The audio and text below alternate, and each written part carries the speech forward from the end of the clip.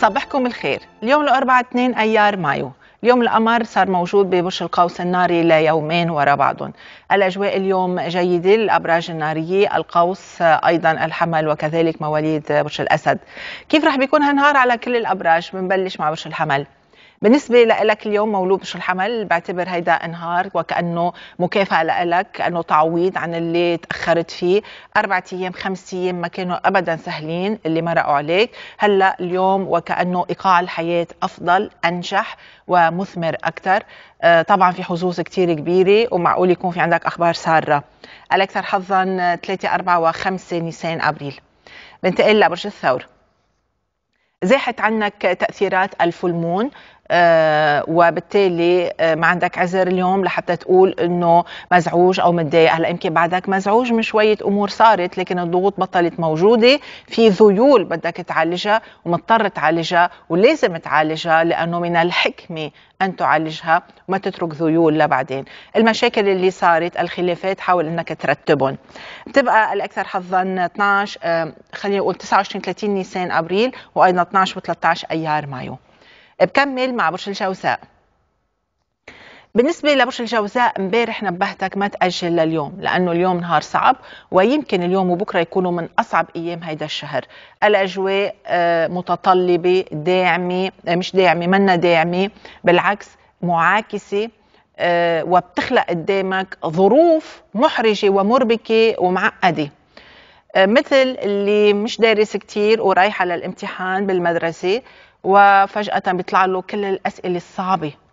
فاليوم نهار أول شيء بدك تحافظ على هدوءك هدوء أعصابك لتقدر تفكر بهدوء ومن دون انفعالات.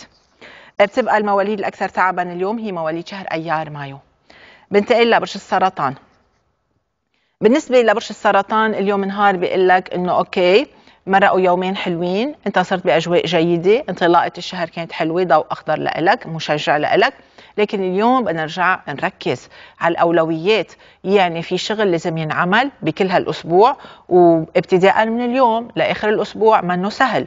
إذا بدك تشوف معلومات أكثر فيك تشوف اليوتيوب لإلي كارمن شماس وتشوف الأسبوع كله كيف بده يكون. أما بالنسبة لليوم اليوم نهار بدك تكون ماشي على أجندة أجندة وماشي فيها. أول يومين حلوين آخر عطلة الأسبوع ما رح تكون سهلة.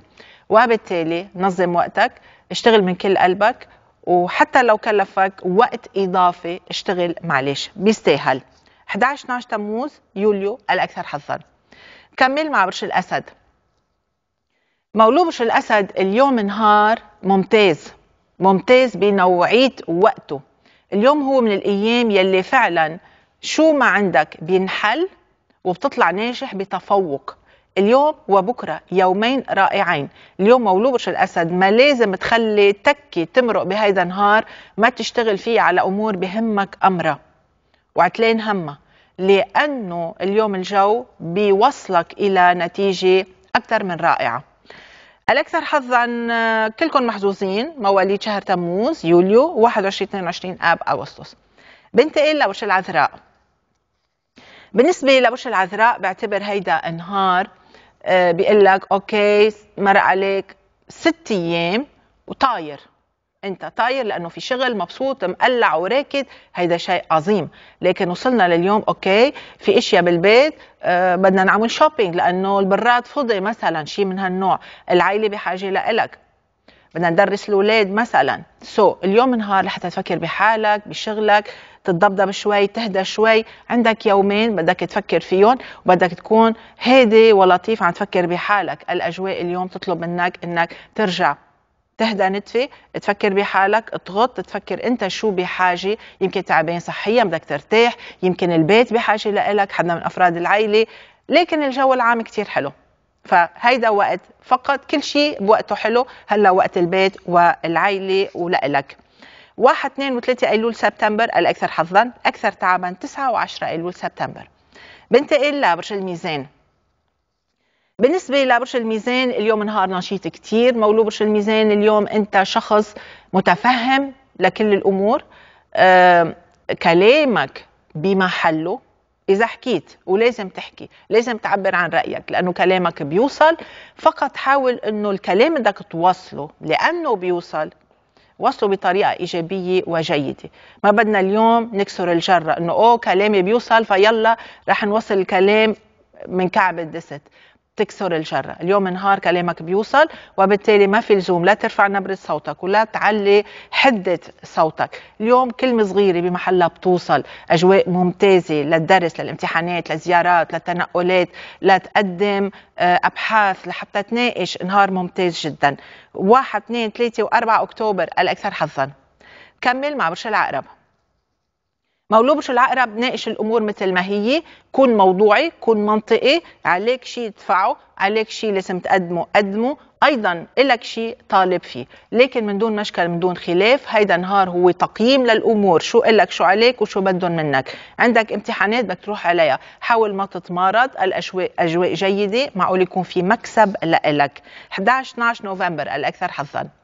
كمل مع برج القوس؟ مولود برج القوس القمر ببرجك الشمس موجودة بهالفترة من السنة بالبيت السادس يلي هو يعني شغلتين مهمين جدا بعلم الفلك. الشغل الشغل وأيضا الصحة. لأنه القمر ببرجك في ضوء أخضر. معناتها في صفحة جديدة في قرارات جديدة على هالصعيدين. يلي هن يا الصحة يا الشغل يا اثنين سوا. ففيك تخلق شيء جديد عمل جديد فكرة بتلمع براسك. قرارات جديدة بتتاخد. أو تتخذ عنك. فحضر حالك لتقدم ولتطور بهاليومين الأكثر حظا بالتأكيد هي مواليد نوفمبر. بنتقل لبرج الجدي. مولود برج الجدي اليوم نهار ركود وهدوء وانتظار أو تريث.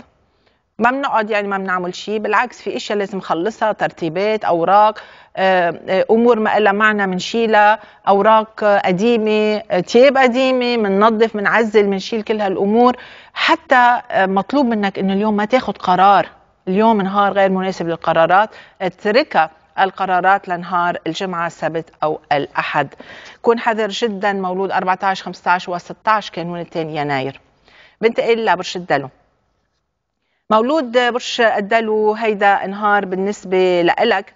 آه، بعتبره نهار بيساعدك بعتبر هيدا نهار بيرجع بيعيد خلط الأوراق لحتى أنت تكون مرتاح أكثر لكن لازم تعرف أنه بخلطة هالأوراق رح إلا ما يطلع لك تعاون مع شخص أو مع جهة معينة وهذا شيء كثير إيجابي كثير مهم بالنسبة لك ولازم تقتنص الفرصة لحتى تحط إيدك بإيد شخص أو مجموعة معينة.